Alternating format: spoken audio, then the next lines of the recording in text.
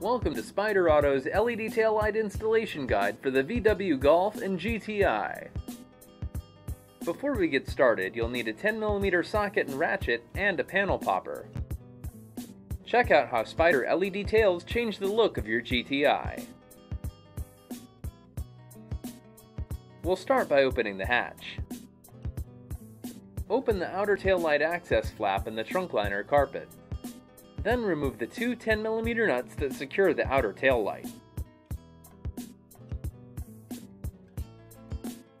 Then disconnect the outer tail light wiring harness. Pull back on the slide tab to release the harness.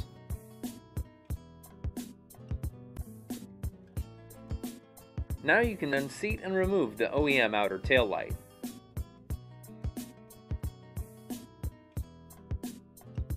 Then use a panel popper to remove the guide pin.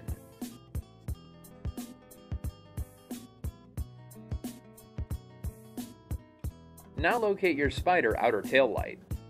Connect the Spyder tail light harness to the outer tail light wiring harness. Then be sure to seat the wiring harness gasket seal. Now you can go ahead and seat the Spyder outer tail light. Reinstall two 10mm nuts to secure the outer tail light. Route the green and black outer to inner tail light harness included with your tail light through the body along the path marked here. The green and black outer to inner harness must be connected for the inner LEDs to light up.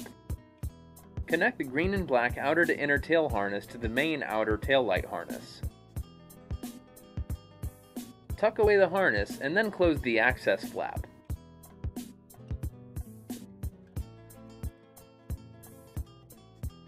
Moving on to the hatch, remove the inner tail light access cover on each side. Disconnect the inner tail light harness. Remove the reverse socket carrier for better access.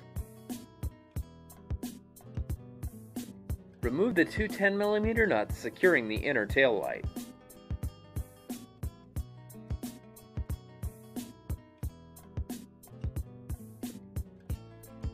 Then you can unseat and remove the inner tail light.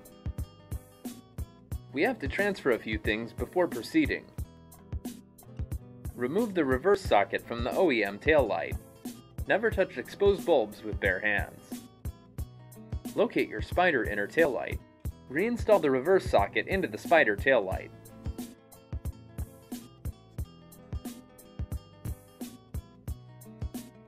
Then seat the Spyder inner tail light.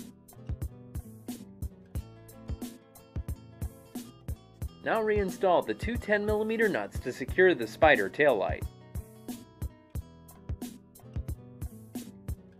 Reconnect the inner tail light harness. Then connect the green and black Spyder outer to inner tail harness to the inner tail light to allow the inner tail lights to illuminate properly. Carefully tuck the harness away. Then replace the access panel.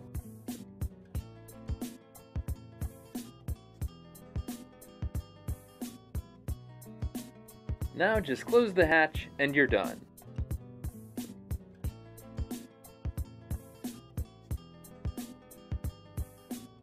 Congratulations, you've successfully installed a set of Spyder Light Bar LED taillights on your Golf or GTI.